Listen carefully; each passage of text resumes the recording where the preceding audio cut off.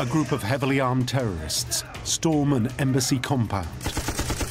It quickly becomes a siege. These were man-eaters. They were used to killing. The attackers have captured senior politicians, generals, and a host of VIPs. They will hold them for over a hundred days. For the special forces, a frontal assault is impossible. Instead, they must do something radical. Attack from underground. There's never going to be anything but a military solution. At stake are the lives of 72 hostages. This is the extraordinary story of how Peruvian commandos ended one of the longest terrorist sieges in history.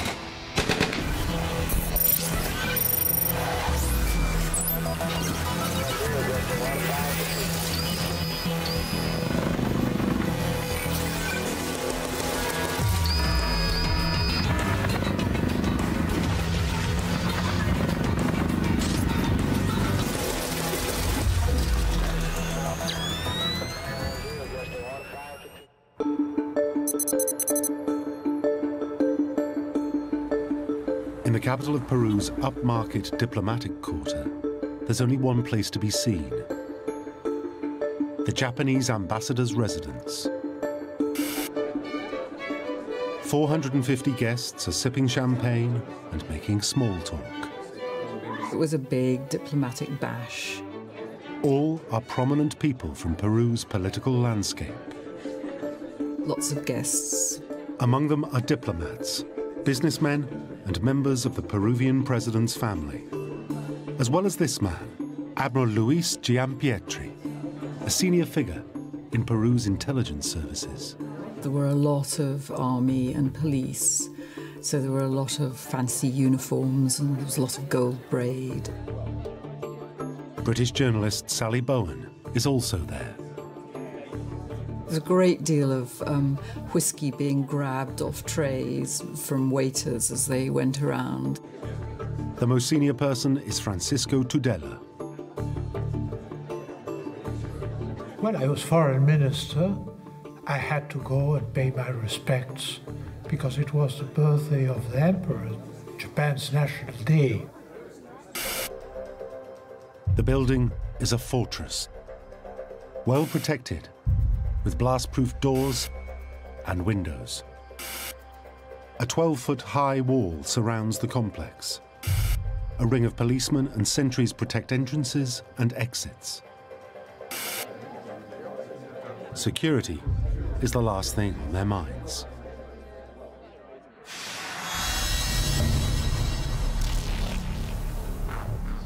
But a small team of terrorists are preparing a bold mission. They plan to sneak through the security cordon hidden in the back of an ambulance. As the guests tuck into their wine and canapes, little do they know what's in store.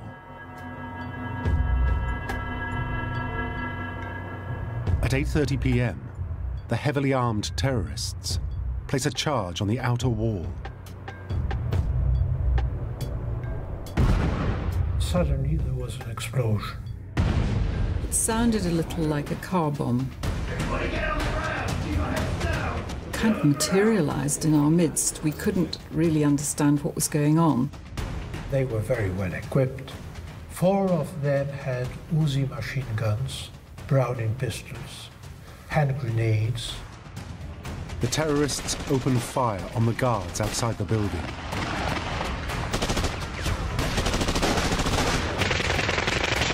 Guests dive for cover.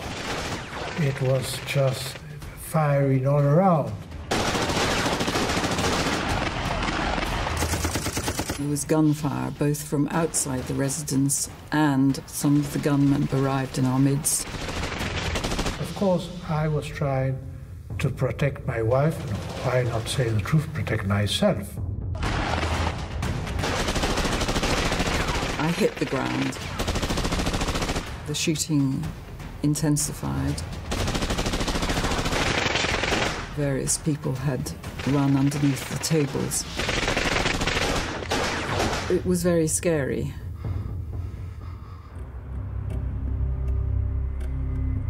As soon as the gunfire subsides, the terrorists turn on their captives. They were very hard on us. They kicked us, they aimed their guns at us, and they pistol whipped us.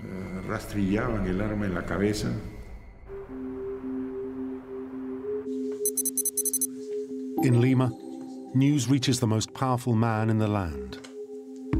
Peru's president, Alberto Fujimori. 450 people are under the control of 14 terrorists. Fujimori has based his whole career on defeating terrorism. This was 1996, and in theory, Peru was pacified. This is what Fujimori had been telling everybody for a long time, for some three years. Between 1980 and 1990, an estimated 35,000 people had been killed in Peru's bloody anti-terror wars, particularly against the notorious Shining Path.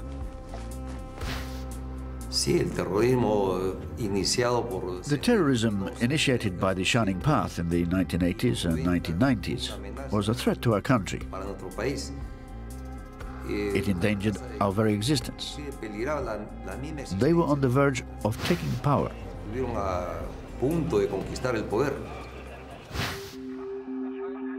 For a man elected because he could defeat terrorism, this incident spells political disaster. The attack on a Japanese target also has a special resonance. Fujimori is of Japanese descent. The Japanese were targeted because they were seen to have been giving help and support and a lot of financial assistance to Fujimori and the regime. But at this stage, Alberto Fujimori doesn't know how to respond. He desperately needs more information. For a start, who are the terrorists and what do they want?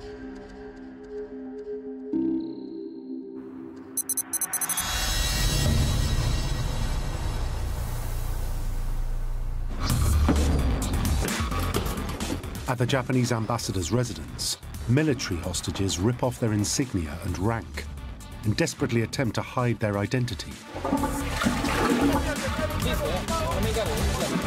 Outside, the authorities try to shoot their way in again. Gunfire went on for 20, 25 minutes. They lob in tear gas. But the rebels have come prepared. So they took out their gas masks and put them on, and they were fine. The tear gas subsides.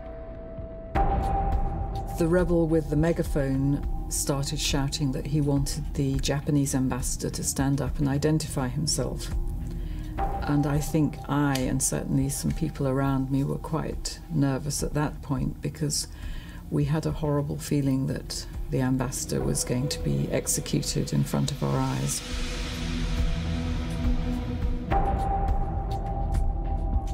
The Japanese ambassador, Morihisa Aoki, is forced to get on a megaphone. He pleads with the police to fall back, and a tense calm follows.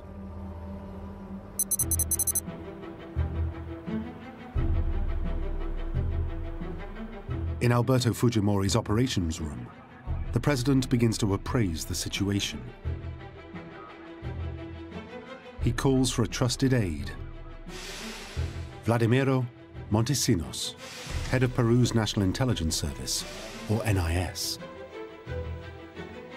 A trained lawyer, he once defended Fujimori in court against charges of corruption. Now, he's his right-hand man, the president's Mr. Fix-It. We all were very much aware of the existence of Vladimiro Montesinos, but he was never ever seen. He wielded extraordinary power, he was Fujimori's eyes and ears. Montesinos calls upon an elite counter-terrorist unit, the Peruvian Commandos. Los comandos de, de... The Peruvian commandos are always training for any threat to the nation. Para cualquier contingencia que pudiera presentársele a, a la nación, ¿no? Close quarter battle, intelligence gathering, and heliborne assault are just some of their skills. Paracaidismo, parachuting, amphibious warfare, mountain warfare, hostage rescue, storming buildings, as well as marksmanship.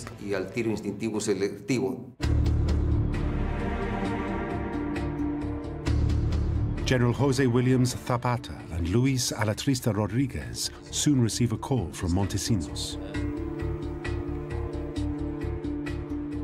I was working in the 1st Special Forces Brigade. The television showed us what was happening at the Japanese ambassador's residence. We could see that there was a considerable problem. My reaction was to order my officers and men to get ready for action. Montesinos and the commandos begin to discuss the options. We rejected the possibility of an air attack using parachutists, hang gliders, or other forms of approach because we would lose the element of surprise, the secrecy. That wasn't possible. Generals Williams Zapata and Alatrista Rodriguez will have to find another way. Meanwhile, at the ambassador's residence, the rebels are digging in. They place booby traps in doorways and around the grounds. They turn the building into a fortress. Only now do they reveal their identities. One of the rebels, who was quite close to me, um, picked up a loud hailer and shouted, Keep your heads down or they'll be blown off. This is the MRTA. The MRTA, the Tupac Amaru Revolutionary Movement, are hardline communist rebels, infamous in Peru. The MRTA was specialized in kidnapping. They were ruthless and had killed a lot of people. They kidnapped several businessmen to extort money from their families. They also carried out assassinations. The terrorist commanding the raid is also the group's leader, Nestor Cerpa Cartolini. Born in Lima in the 1950s, Cerpa is a former political radical who has taken up arms. He was a psychopath. He was a very bloodthirsty guy. Cerpa's hope is that seizing the hostages will bring the movement publicity. He identifies the English journalist Sally Bowen as someone who could be useful to him. He was very calm and collected. He was in a small study um, off the hallway of the of the residence. We asked him what he was what he was about, what he was doing this for. Um, and he immediately came out with the demand that um, MRTA political prisoners had to be freed. Cerpa demands the release of 400 political prisoners, including his own lover, and he demands a great deal of money. They asked for a ransom of $6 million and the wholesale change of the country's economic model. They were blackmailing the government. Cerpa also wants to meet the president. If his demands aren't met, he'll kill hostages. The first person in his sights is Foreign Minister Francisco Tudela. The leader told me that they were going to kill me the next day at 12 o'clock. Tudela has just 14 hours to live. I told my wife, I'm a dead man. And she said, don't, don't talk nonsense. But I said, yes, it's, it's, uh, the odds are against me. I was a major target for the terrorists.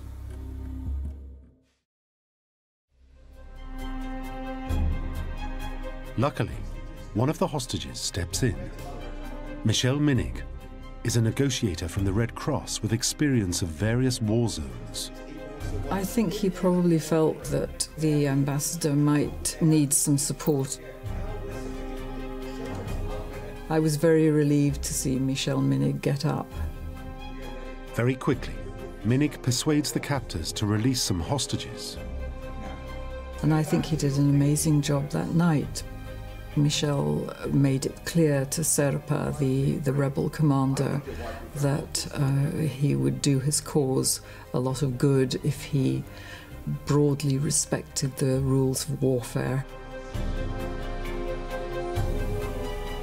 Minnig secures the release of the waiters and then the women and children, in all 170 people. Among them, the wife of Foreign Minister Francisco Tudela. She didn't want to leave me.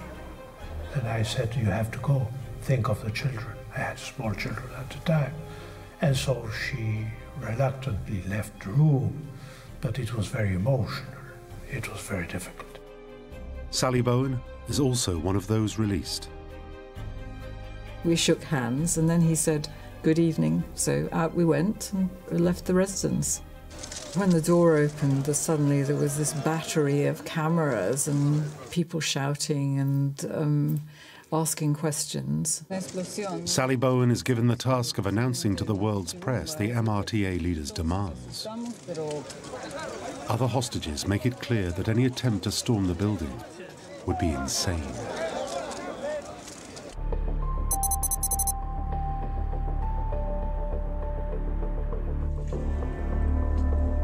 The next day, Fujimori begins a series of meetings with his cabinet.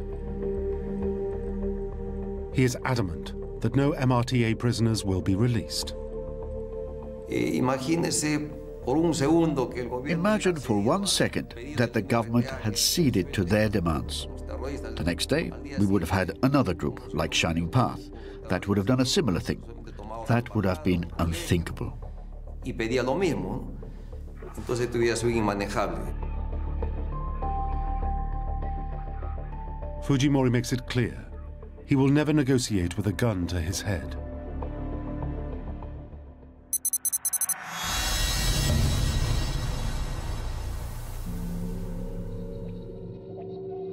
For Francisco Tudela, Fujimori's stance is a death sentence. He is due to be executed at noon. His life hangs in the balance.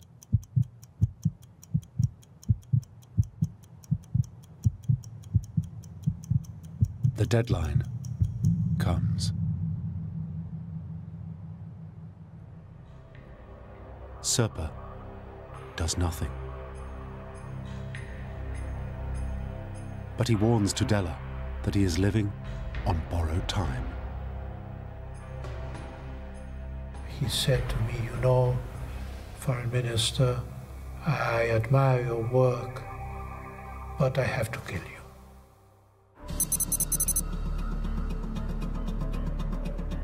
In fact, a few hours later, four more hostages are released by Cerpa, all of them diplomats. Meanwhile, preparations to retake the ambassador's residence are continuing. Thanks to the released hostages, the commandos are getting valuable intelligence. They learn of the enemy's strength and positions. We knew there were 14 terrorists. That they had all come in with heavy weapons, they had rocket-propelled grenades, They had prepared for this operation and they knew exactly what to bring. They study a scale model of the complex, looking for a way in. A frontal attack is out of the question. The only way forward is to do something truly radical. Approaching from above ground was immensely challenging because of the explosives. So that's how we came to the idea of approaching from below by tunnels. from below ground.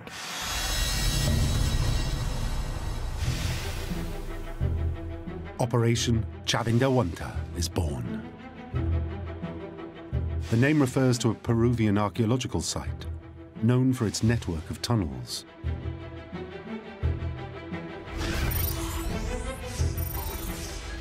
The plan is to dig into the compound at a depth of three meters.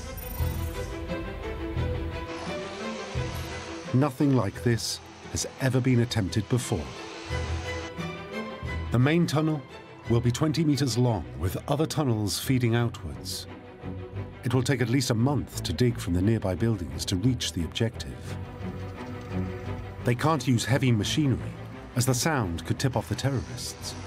The largest tools will be electric pickaxes. Over the coming days, the operation begins.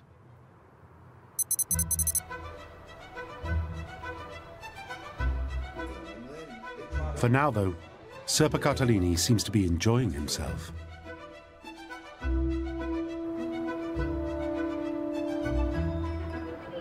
In late December, as a gesture of seasonal goodwill, he releases more people, 225 in all, in the hope of grabbing the headlines. For a long time, one felt that the guerrillas were winning the propaganda war. They seemed to be more open and ready to talk than um, the Peruvian government. There were there was absolute hermetic silence from the Peruvian government. Whilst the authorities keep their cards close to their chest, the terrorists revel in all their newfound fame. They had a very good sense for publicity. Um, they knew that photographers and camera people needed images. The MRTA would hang banners out of the window periodically. Um, it was all part of the propaganda war. Fifteen days into the siege, on New Year's Day 1997, the MRTA pull off an astonishing propaganda coup. There was the famous incident when we finally managed to get permission for some of the photographers and um, camera people to file past the residence so at least they could get some images of the exterior.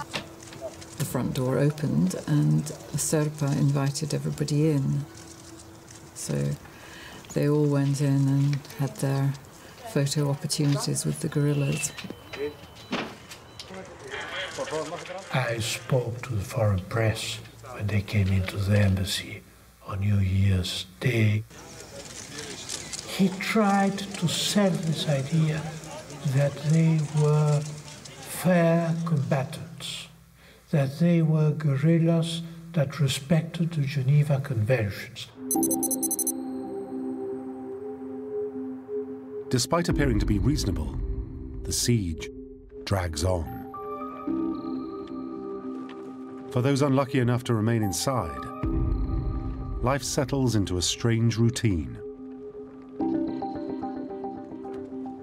Mostly boredom is the biggest enemy. Hostages take turns to give talks on different subjects. Some run the corridors to keep fit. Others do chores, like cleaning.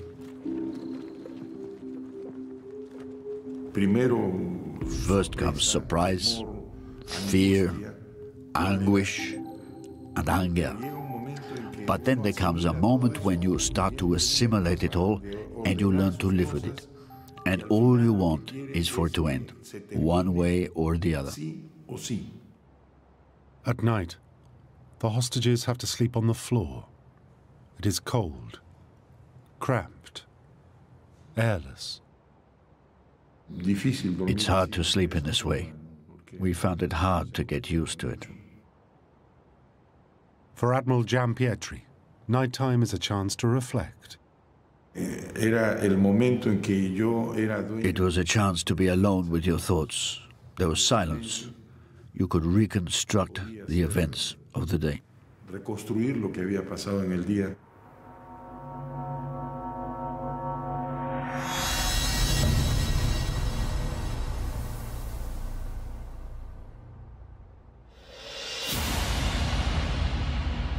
Occasionally, the terrorists show their true colors. Something Francisco Tudela experiences. You had uh, two terrorists by your side pointing their guns at your head. They pulled the trigger. You hear clack, the empty chamber. And that's a moment in which you have a mixture of fear and relief.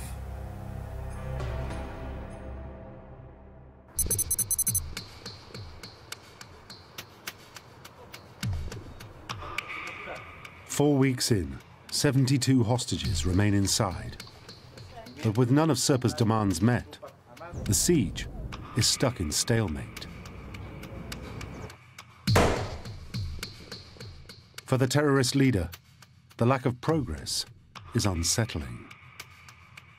The stress starts to get to him. He had sharp changes in his mood. He became overexcited and violent. And then, after a few hours, he would uh, lie down and sleep. Then he would wake up and feel anguish, put his hands in, his face, go to a window to breathe, and then the cycle would begin again and he would become again violent.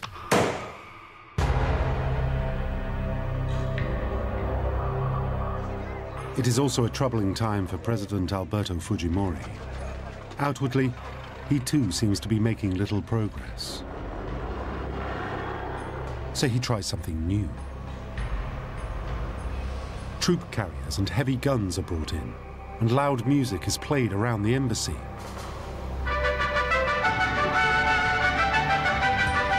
It's a well-known trick of psychological warfare, designed to shred the nerves of those inside. This was one of the greatest tortures for us. The noise was extraordinary. We couldn't talk amongst ourselves because the noise was so loud. But all this has a reason to conceal the digging. Se colocó música. Loud music was played with the aim of distracting the terrorists.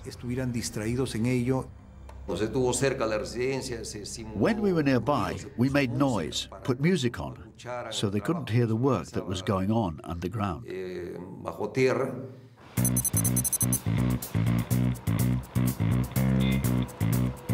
As a further distraction, Fujimori seems to be stepping up the action on the diplomatic front. There was Fujimori dashing off um, on missions to negotiate possible asylum. His team of negotiators liaises daily with the hostage takers. Without doubt, none of us wanted a military operation. We preferred a solution that would allow us to get out alive. Fujimori travels to London to see if Britain will give the MRTA asylum. The whole situation was very confused. There seemed to be activity on a different range of levels.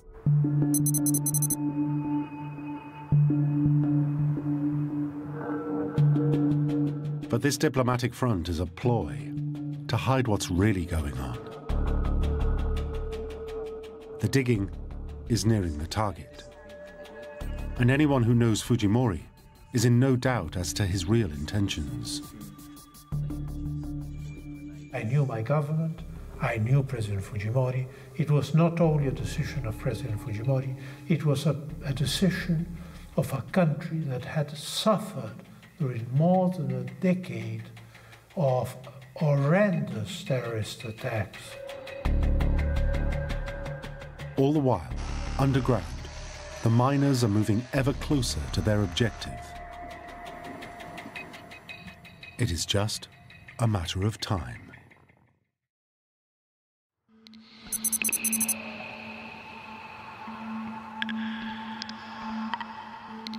In April, almost four months into the siege, Cerpa makes a concession to break the deadlock.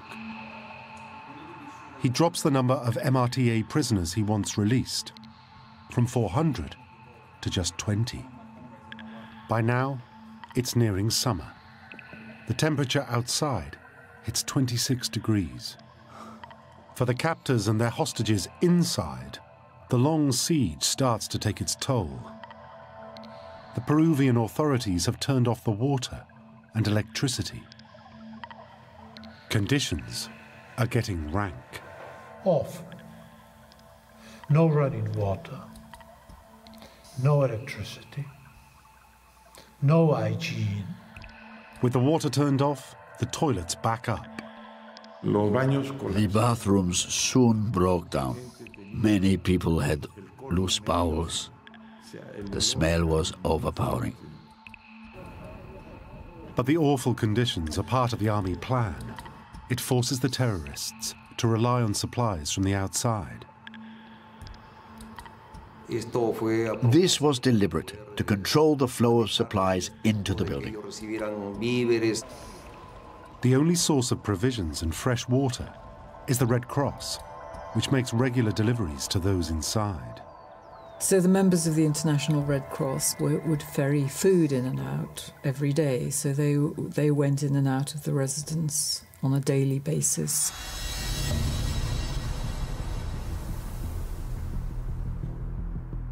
What nobody knows, not even the Red Cross, is that the aid packages contain something else. The authorities have hidden high-tech gadgetry in the deliveries. And they are intended for one man, Admiral Luis Giampietri. Amongst the board games, religious artifacts, books, and even musical instruments are tiny microphones and cameras. Specialist technicians from Peru's intelligence services have custom-built tiny eavesdropping devices. The intelligence service provided microphones that were being smuggled in, concealed in different objects, in a guitar, in some books, the provisions. In this way, they could listen to information, get it down on paper, and then pass it to us so that we could put it to use.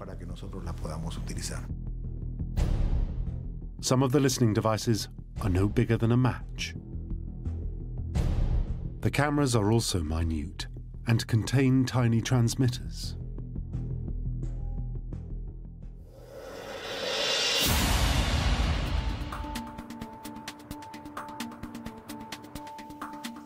Over the weeks of the siege, an amazing 800 microphones are smuggled in. Admiral Luis Giampietri secretly places them around the residence with the help of others. The microphones aren't just for eavesdropping. They also allow him to communicate with the commandos.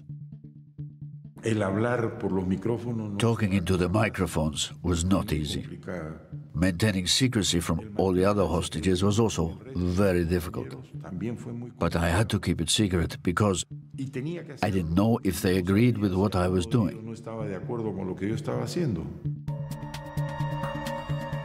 To conceal what he's doing, he is sent a Bible with a hidden microphone. He starts to read aloud from the pages. The MRTA soon dismiss it as the prayers of a madman. But within each prayer, Giampietri drops in key pieces of intelligence. We knew that he was ex-Naval Special Forces. He spoke our language. He knew commando terminology. And he was our best contact amongst the hostages.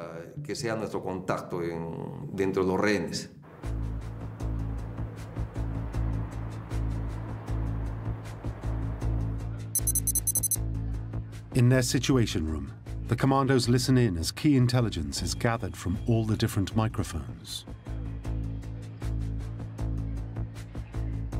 Gradually, they start to build up a detailed picture of what is going on. Los escuchábamos también a los terroristas. We listened to the terrorists as well, so we gained more information which would allow us to improve our operation to rescue the hostages. They learn that at night the rebels are especially vigilant. This is when they most fear an attack. Some sleep amongst the hostages, whilst others rotate guard duties. Giampietri's intelligence also reveals one crucial piece of information.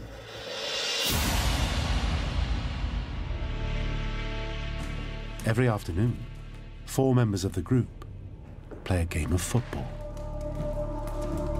The large dining room on the ground floor becomes their pitch.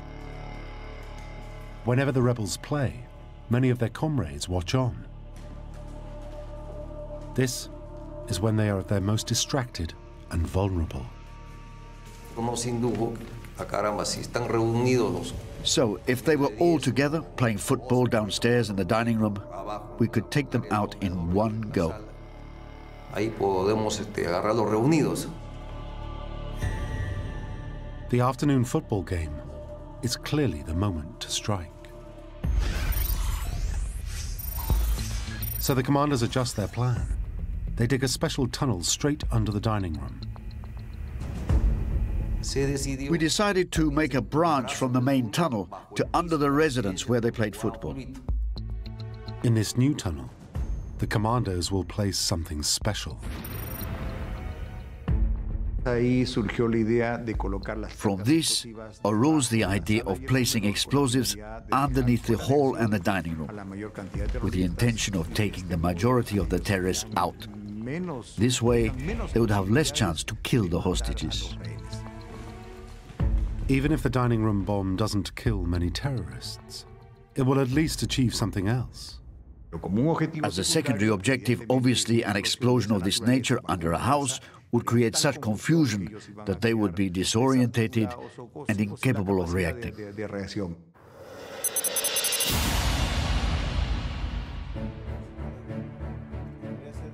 As zero hour approaches, the commandos now finalize their plan. There were to be two assault squads. For the ground floor, Team Alpha. For the first floor, Delta Squad. The group that would do the raid includes Miguel Velez Moras Rojas. Yo fui integrante del Grupo Delta. I was part of Group Delta.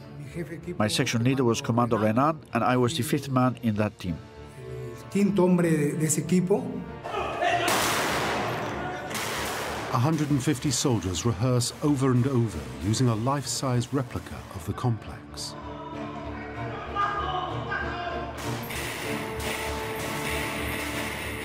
They practice different room clearing tactics and test different types of explosives. We tested the exact amount needed. Not too much that it blew up the residents and the hostages, not too little that it had no effect. They're nearly ready. Then there's a complication. The journalists who were virtually living on the rooftops around the embassy became aware that there was a lot of noise um, from underneath the ground. So we all learned that tunnels were being dug. Cerpa flies into a rage. He threatens the hostages and gathers them all upstairs so they can be killed more quickly in the event of a raid. He breaks off negotiations entirely. What he doesn't realize is that he has just played into Fujimori's hands. By refusing to negotiate and refusing to guarantee the health of the hostages, Cerpa has given Fujimori the excuse to act. The decision was made to carry out the raid and rescue the hostages.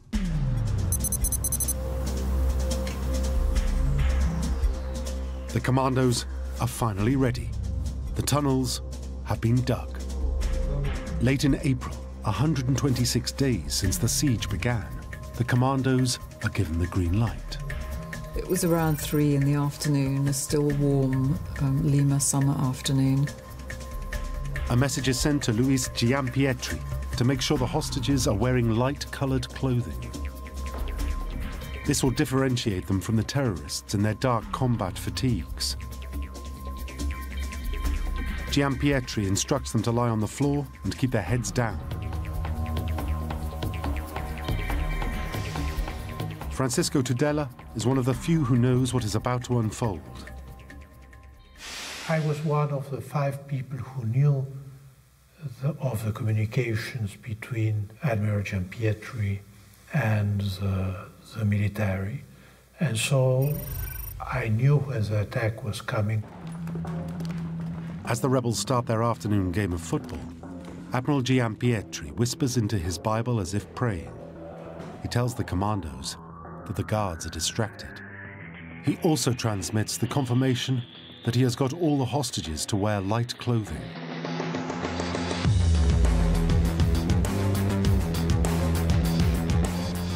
Team is sent to set the charge under the dining room. Just after 3 p.m.,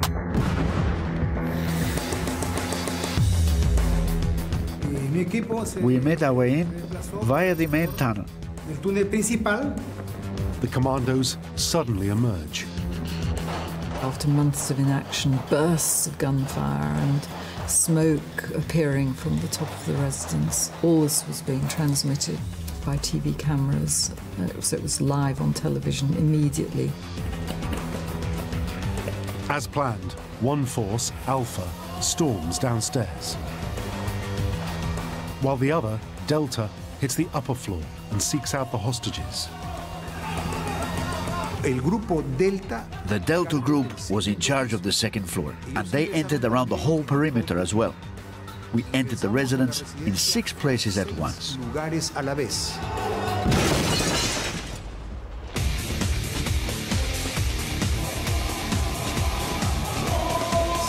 A second wave of commandos attacks the front of the building, while another scales the walls on ladders.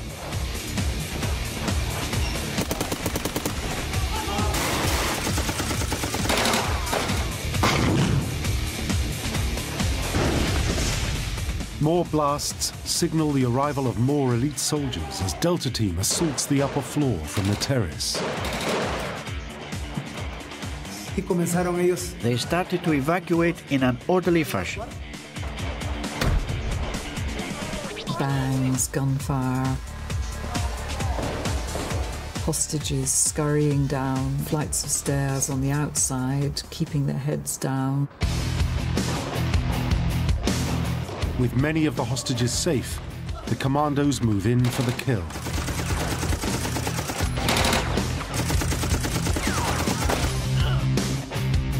Over the next 15 minutes, they flush out the terrorists.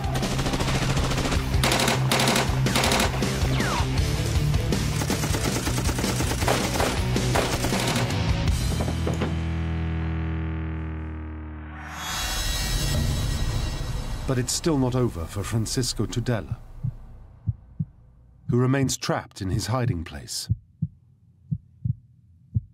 One of the terrorists comes looking for him. The terrorist that was my, my executor, he looked for me in the room and then saw me in the terrace. He threw hand grenade. I received 60 pieces of shrapnel. I still have 18. Then he shot me. He failed the first two times, but the third time he got me in the leg.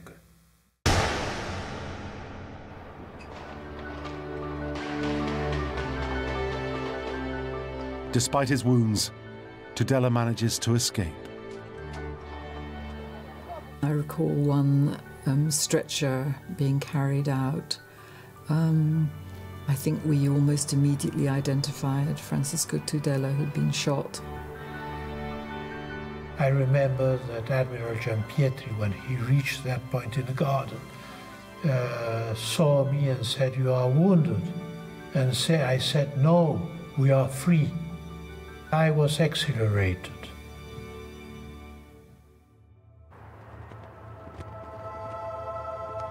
As the smoke clears, All 14 terrorists are dead, including Cerpa. Only one hostage doesn't make it out alive. He is wounded and dies from a heart attack. Two commandos are killed. The whole raid lasts 32 minutes from beginning to end.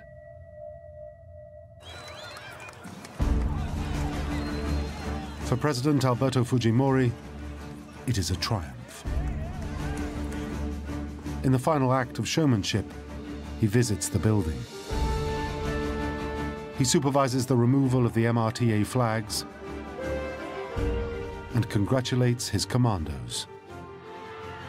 This is Fujimori at his most ebullient, having taken a huge gamble and having it come off. The raid is seen as a great victory. However, if Fujimori and Montesinos thought the raid would make them politically invincible, they were mistaken. Both are now in jail on corruption charges. Nevertheless, the raid remains a source of pride for those who took part. Every commando aspires to take part in this sort of event. For me, it is a matter of personal pride. We did it for Peru, and I will always be proud to have led this group of men.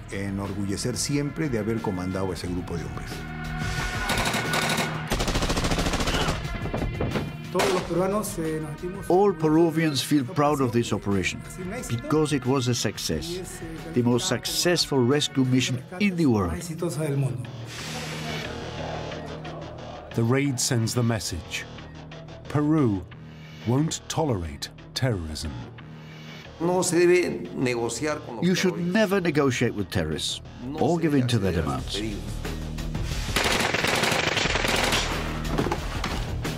Because of the success of the Chavin Huántar operation, the Tupac Amaru revolutionary movement was effectively defeated. Today, Peru is largely free of terrorism and is reaping the benefits, thanks in part to the work of the commandos.